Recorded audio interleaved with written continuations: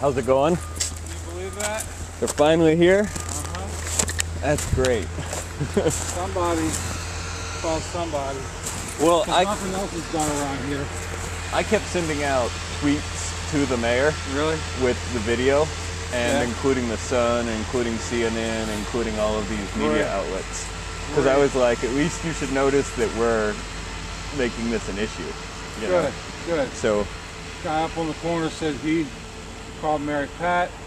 Diane spent yesterday calling the mayor's office about 10.05. Somebody actually answered the phone. yeah, see, I figured, you know, I, I called as well, all right, and I sent Uh-huh. emails, but I figured uh, if I do it publicly, Right? right, and I put the pictures of the street on every time. The thing know. is, though, you, how much you've been out and around?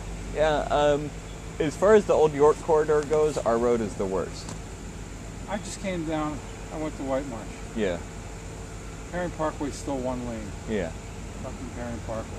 yeah, but at least it's one lane. You Yeah, but it's a main thoroughfare. It's not the 600 block of Parkworth Avenue, a little narrow one-way street. No, but I'm really glad they got it because they were going to reset on Tuesday, right? Yeah, when the new yeah. one comes, we would have been back at the line again. Exactly. Exactly. He says that they're uh, they're going all the way through. They're not leaving until they're done. That's fantastic. So